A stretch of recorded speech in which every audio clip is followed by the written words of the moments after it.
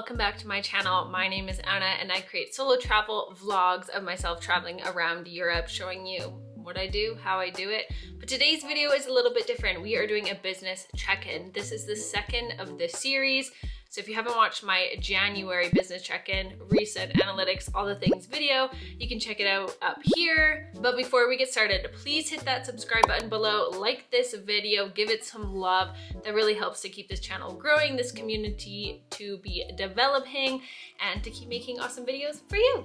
First things first, we have to get some coffee. So if you don't have a cup of coffee, get yourself one. We're gonna sit down and chat for a little bit, and you might need some caffeination during this so much better. First question you may have is, am I in Malta filming this right now? And the answer is no. So all my travel content is from last year. It is currently February 2023, February 10th to be exact as I film this video. And I am in Calgary, Alberta, Canada, the place I call my base right now. If you subscribed, thank you. If you haven't, click that button below and let's get started. So number one thing we talk about is personal updates and what's going on in my life. And one of the best ways I find to communicate kind of a recap of either a week, a month, or a period of time is using this concept of highs and lows so in our last video, we talked about a high being that my focus is really on YouTube and editing this content from last year and growing this channel and also learning Portuguese. And both those things are really a high for me and still a high priority also on my list. This channel's overall growth rate has doubled, if not quadrupled, no, tripled, somewhere. It's definitely growing a lot higher. We'll dive more into that into analytics in a bit in this video. And I'm still learning Portuguese. I'm on a 200 plus day streak on Duolingo, which obviously isn't enough to learn the language, but it's definitely helped to increase my vocabulary. I would say another high from this past month is financially, I'm really focused in and dialed in. That's not to say I'm a millionaire suddenly, that would be nice. but I'm dialed in on what my goals are, and that is obviously travel, building this brand and this business, and what kind of investment that might need to be initially upfront. Attend to my sinking funds, making sure whatever income I am generating from either freelance work, YouTube affiliates, consulting, etc., that it is going to where I want it to be. Some lows for the month on the flip side of that is I went to the dentist finally, thankfully, and I found out I have cavities, which doesn't really surprise me because I have a huge sweet tooth, but I was so excited that in February I have been using my sinking funds to finally save up for a new phone. This is my current phone. I've got McDonald's coffee stickers from flight still on it. But you can see how broken and cracked it is, and you can look at yourself there. My phone is an 8 Plus, and I think as a content creator, that's quite impressive that I am creating all this content on such an old phone. It would be nice to be able to use that 0.5 zoom. That's kind of um, something I don't have access to right now. We were gonna buy it in February. We no longer can because we've decided healthcare is more important. So we're gonna get those cavities filled, which a low is like, I've been saving so long for this phone and to just kind of have it wiped is what it is, you know? But it is a bit disappointing. And then I still don't have any travel booked. I mean, in my head, I know dates and flights and I have it all planned out. I have it on my notes but no flights are booked. So that's a low. One thing I've really enjoyed doing is going to my public library. It's kind of my co-working second space, shall we call it? So anytime I feel kind of a lump in my workflow or feel a need to get out of my work from home office, I go to the public library. So that's personal updates round one. Time for that sip of coffee. Section number two is content creation, brand growth, this AD brand, what's happening with it, where's it going? Last video, I shared that I had 19 videos left to edit, but it's thankfully down to 13 videos. I am focused, I'm dialed in, I'm trying to make this happen. I'm also constantly trying to be two weeks ahead, which as every day passes, that gets farther and farther away, but that is the goal right now is to stay dialed in on being two weeks ahead of content. And then once that is kind of caught up and up to date, that is where we we will expand into more development on the YouTube channel like sponsorships and hopefully at that time I'll be into monetization down the line, maybe merch. I'm getting ahead of myself. That's for the goals section, but it's really exciting. So a huge thank you to all of you who have subscribed and made this channel feel really rewarding in all the hours I've put into editing. So in terms of content creation, a few things have changed and I'm kind of sticking to my own plan and trying to yes, see what's trending and what's popular, but also, you know, follow what my gut is and what I want to share because ultimately if I'm not happy sharing it, it's not gonna feel authentic and exciting. A few kind of series, we could call them, have started my cost of a trip. It's a transparent way of sharing what does it actually cost to do what I did.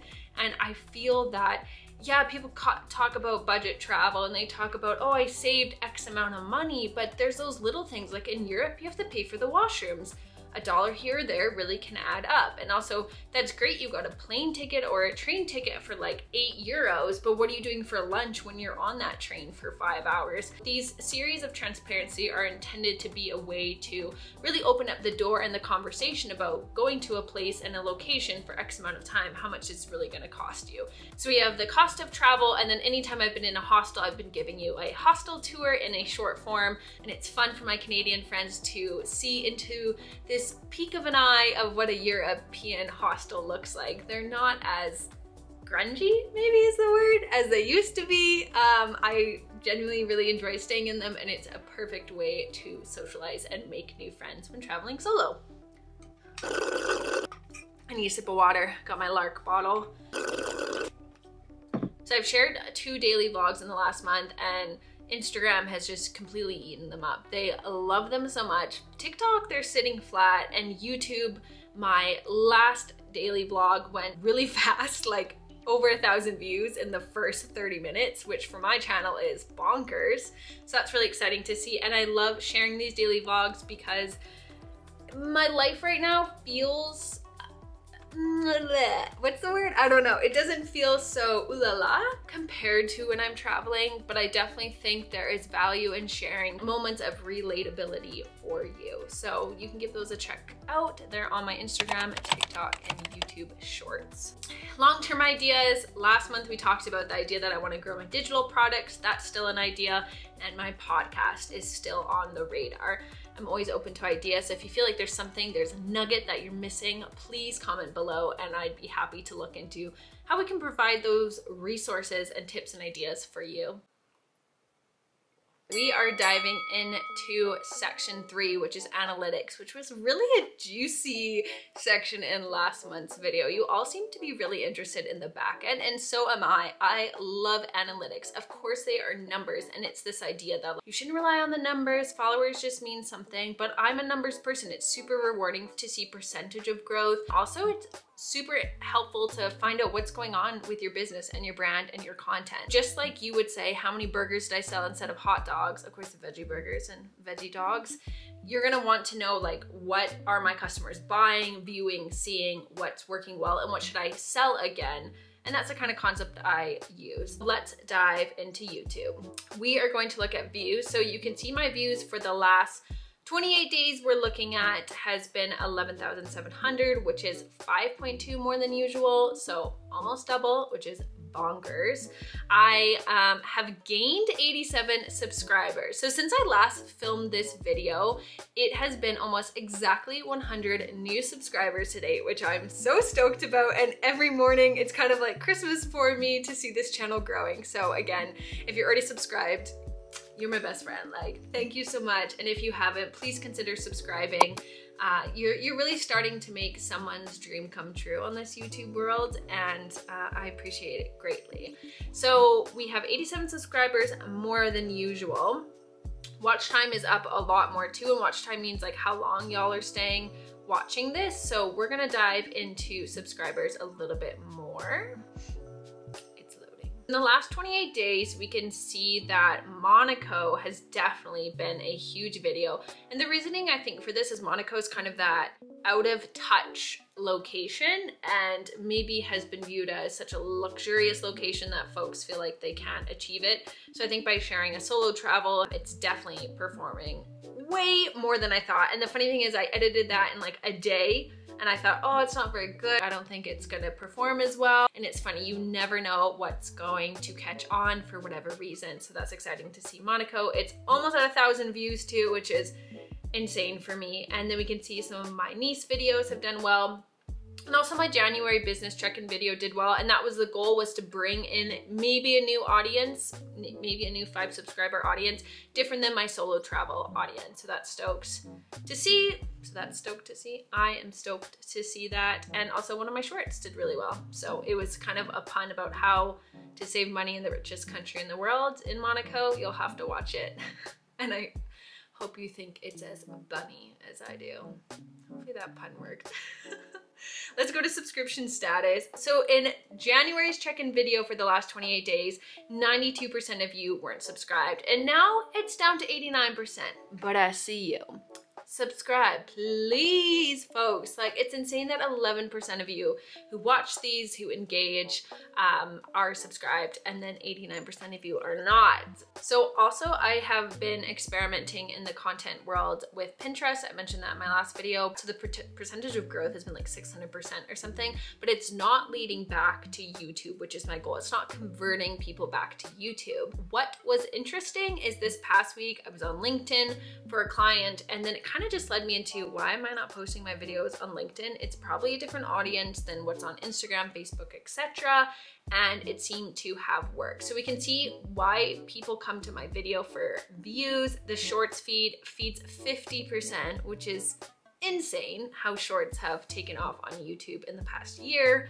People are searching for topics related to my video, browse feature channel pages. But then if we scroll down to external, which is really important piece of material for me and maybe for you as well if you're starting your YouTube channel is how are people coming to your channel outside of the YouTube algorithm. So we can see Facebook does really well for me. I think it's quite an easy click type page compared to Instagram. Instagram, you always have to go to your link in bio if it's a post. Um, and then LinkedIn, it's up there. It's 18 views have come from LinkedIn. 13% of my external audience and growth comes from that. And then we can see WhatsApp, which is probably me messaging my friends to watch my videos.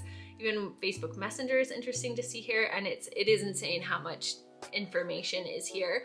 I don't know if other YouTubers dive this deep in and maybe in like a year's time I won't be diving this deep in, but for right now it's really helpful when I do what I call my PR or public relations of posting a new video Comment below, are you enjoying this? Are you not? We are going to dive into Instagram. Wow, I've gotten two new followers since I last looked. That's kind of exciting. So let's go into my insights here and I find insights of Instagram, insights of Instagram, that's a tongue twister, really, really helpful to see. So we're gonna go into account insights. So we're again doing the last 30 days, which is what we did previously in my January video. And in my January video, I had 2,840 followers. And as of this moment right now, right here, 2,862. So I have gone up 22 followers in 30 days. I am fine with that. I, in my soul, I'm fine with that. I can't control it. It's something out of my control. You know, they tell you that in therapy, like control what you can, or they tell me that in therapy, but what is out of my control? All I can do is post and try and um, learn new skills and algorithm tricks. But it is what it is. So let's go into total followers. I think the funny thing is, is I've gotten actually, gotten? I, yeah, gotten. English is my first language. I have gotten 55 new follows in the last 30 days, but 38 people have unfollowed me. And I find often when I post, people unfollow me. I don't know why that is. It's the same as last video. We can see Vancouver and Calgary are still performing well, and then country, 58% of you are Canadian, which is really fun to see. We can also see that 64% uh, of you are women, so hello ladies, um, or female identifying at least, and 35% of you are male identifying. Always really useful to me is how many accounts engaged. So we can see that was up 89% compared to the last 30 days. That's a huge number for Instagram. I'm really excited to see that. And we can see that 278 people were followers of mine and 412 of you don't follow me. So kind of that same concept of not subscribed.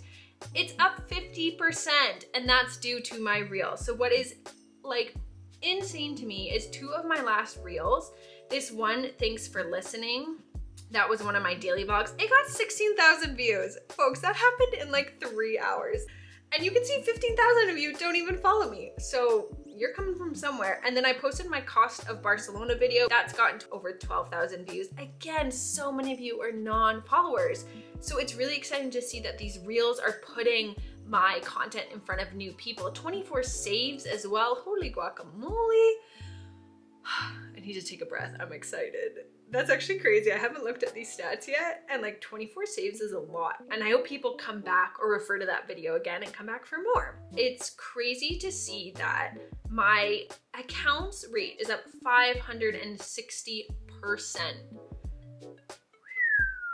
You can see 35,000 people from those two reels basically in the last two days. You can see that reels have absolutely blown my content out of the water you can see that 35,000 people have seen this content and I've gained 20 followers. I'm trying to debate like, is followers more important or is impressions and reach? And I think I'm diving into, first of all, impressions and reach seems to work for my platform. So go with what's naturally going, like keep floating down that river. I do want to just kind of share my content and get it out there. So followers will come and people who are really engaged enough to follow will, and that's exciting to see but I think reach and impressions is important to extend that audience to kind of grow that bubble of folks that you engage with. So if you came to this video from Instagram, hello, thank you for being here. Nice to see you. All right, that's it for Instagram. Give me a follow, it's Anna underscore Dueck, not Duick, Dueck. I've also been updating my highlights across here, so I've been trying to update those about every two weeks as well. All right, let's dive into TikTok next. TikTok on the clock. DJ blow that speaker up. All right, TikTok. This, whoa, first of all. Okay, this channel, it, I don't even know where to start. I think TikTok has plummeted in this idea of you will go viral, it will be quick. Even if you go viral, like those two reels I had on Instagram, they are short-lived. That vir virality, virality, virality is short-lived. On TikTok, what I have noticed is that posting consistently has slowly increased my followers. So that's exciting to see it's at 486, but we're gonna dive deeper into the analytics. So let's go into creator tools and analytics. And again, we are going to be doing the last 28 days. Yeah, funny enough, my video views have gone down and I've been posting about just as consistent as the 30 days before in terms of number of videos, but people aren't liking it, people aren't seeing it as much. I don't know. We can see my likes are even down, comments are down. There was a huge spike on January 26th. Can't remember what that video was. Uh, let's go into content then. So yeah, my last three posts, I usually get around 270 is like my average or my expectation of a video. So anything above that for views is really great. And we can see that lots of old videos are really trending upwards. But yeah, we can see that overall it's like such a slow growth. It's 3% up. Nothing like that crazy 500% growth like Instagram. It is what it is. You know what? I'm gonna keep posting there. I think consistency is key there and it does bring in this just different audience. Um, and I'm also reusing my content. It's not like I'm spending so much time on that platform that maybe isn't quite giving me what I want. We'll see how it goes. Maybe next month I won't do it. Who knows? We'll dive into it when it's time. All right, we're heading to section four, which is goals. And I really want to reflect on last month's video. I also just had to like calm my energy down because that Instagram stats were making me so excited. So last video I talked about short-term, long-term, financially, seasonally, personally. So short-term travel, yes, still the same goal and it's gonna happen. I'm putting it out in the universe, it is going to happen. We just don't know what date exactly yet. Um, long term, we are building those financial systems to help me stay in place. And also long term and just organizing life, like organizing my business, my freelance work and my personal work. I am loving using just the reminders app on my phone and the notes app on my phone, but I have a MacBook so it's all synced together and I love those because they're free. Why pay for another subscription service where if you have Apple products, these two systems are already free and don't pay for another subscription. So they are keeping me in check, constantly reminders every day of what I want to do on what day and what tasks like breaking down tasks too. So if I have a big meeting coming up, what are the things I need to get prepared until that meeting time?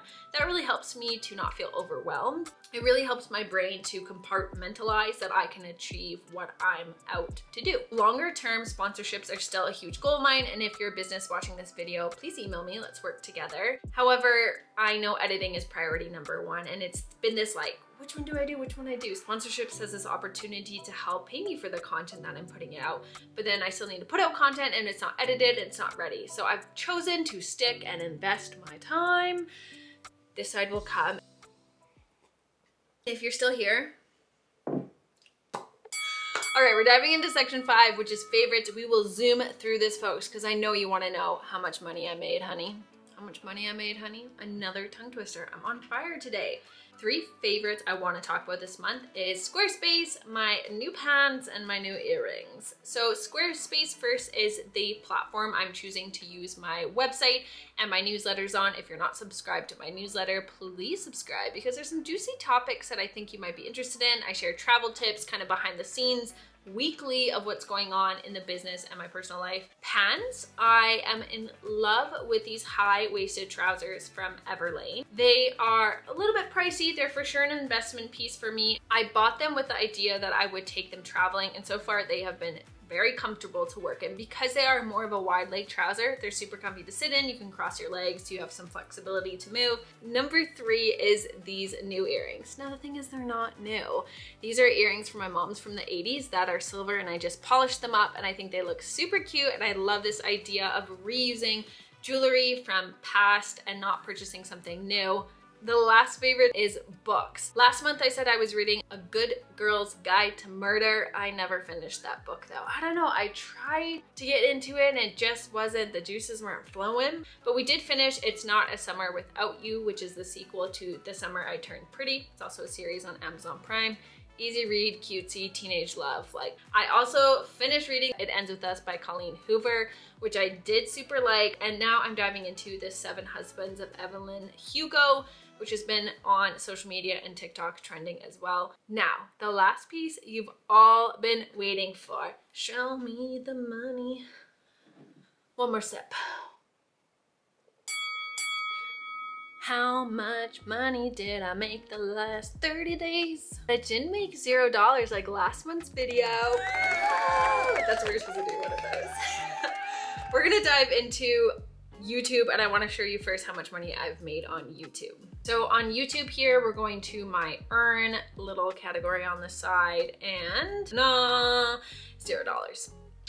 I'm not quite there yet. So I've definitely like, it's changed this back end and I'm not sure if that's because I have more subscribers or views and they're kind of showing me what's possible, but we can see that I have 708 subscribers as I film this video and I need a thousand and one of the following. So this has opened up that if someone has 10 million views on their shorts, which I guess if a short goes stupid viral, then you have that. But it's really great to see that these public watch hours are now in the 3000s and I'm getting there. You know what? Slow and steady, baby. Right now, the algorithm or my algorithm and calculation tells me that, un momento por favor, that was a mixture of Spanish and Italian. That was horrible. Last time I did this calculation is that I would reach a thousand subscribers July 11th. And as of today for this video, May 16th, based on the last 28 days of analytics and subscribers, I should reach a thousand subscribers May 16th, which is like so exciting for me. Yeah, I'm pumped. So affiliates, I didn't make enough um, money for any kind of payout, so nothing to report there. Buy me a coffee, someone bought me some coffees, and that is like, I love buy me a coffee because it feels like I get to go.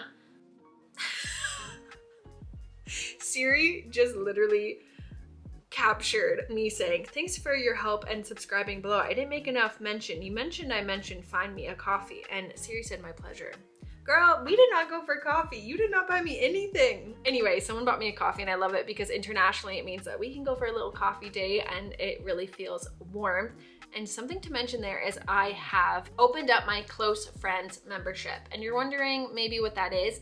It means that for the next Hey! people, you get a free spot to be part of my Instagram close friends circle. It gives you an inside scoop and glimpse of what's happening when I'm traveling, when I'm at home, content creation. So hit the link in my description below to join that.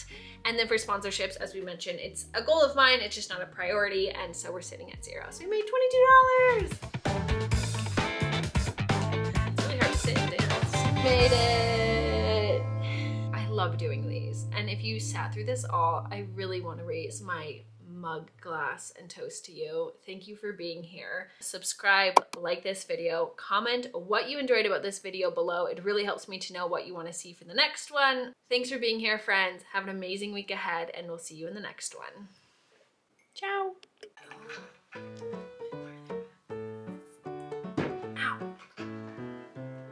Am I in Malta? The quick question is, so that was a nice bang uh, to the to the bucket of the bank account. That made no sense. in terms of content create, um, just taking a breather here. We are going to dive into Instagram. No, we're not. We're gonna record first. Cut that. Uh, yeah, it costed. Okay, we're redoing that. Uh, la, la, la. So three very very. I'm absolutely pumped. I lost my page on my computer. We're diving back in.